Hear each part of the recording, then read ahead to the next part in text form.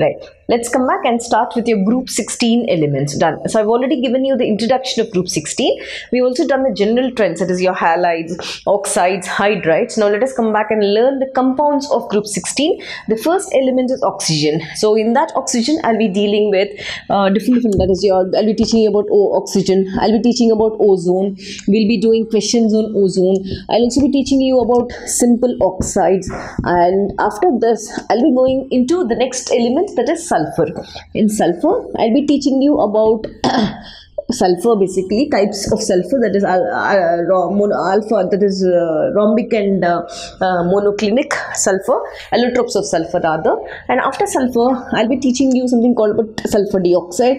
I'll be teaching you about sulfuric acid and we'll be also learning oxo acids.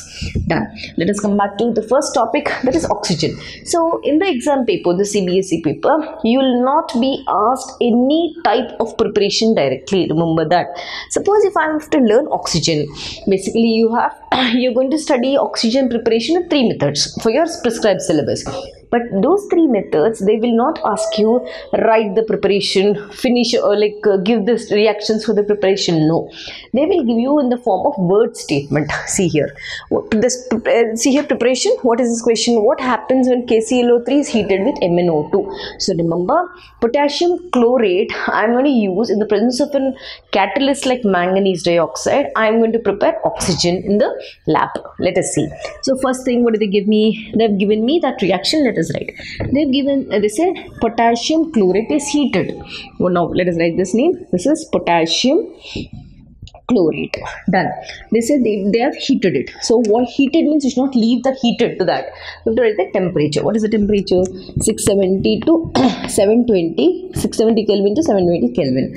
What is the catalyst they've given me? Manganese dioxide is acting as a catalyst. Simplest reaction basically. So what happens? There are two parts. One is your kcl salt here and your ozone here. I mean not ozone or three molecule remember. Okay. This potassium chlorate first important the O3 whatever is there it dissociates forming oxygen mol- sorry oxygen. Right. Now apart from that you also have left with kcl kcl also would come out. Now here oxygen is 2 here oxygen is 3 so i can balance it. Here i'm going to put 3 here i'm going to put 2 just see? 3 2s are 6 3 2s are 6 potassium now is 2 chlorine is 2 so let us write this. Now important. How is this oxygen collected? This is the main thing. Here oxygen is collected by procedure called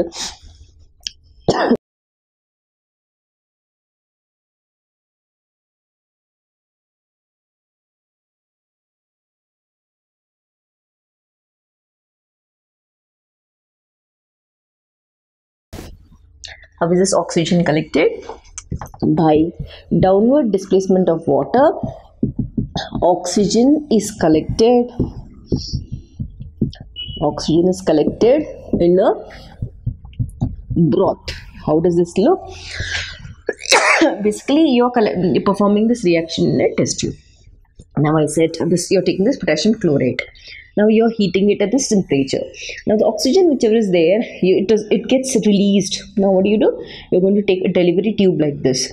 Now you're going to take a watch glass or this one a broth type uh, watch glass type thing and you're going to invert a beaker in this with water now what happens? Due to the downward displacement of this it moves oxygen moves and it collects in this beaker and you have a water present in that. So it's that particular thing which is soluble and it's finally collected. So this is called downward displacement of water and this oxygen is collected in this broth this particular broth which is dipped in water.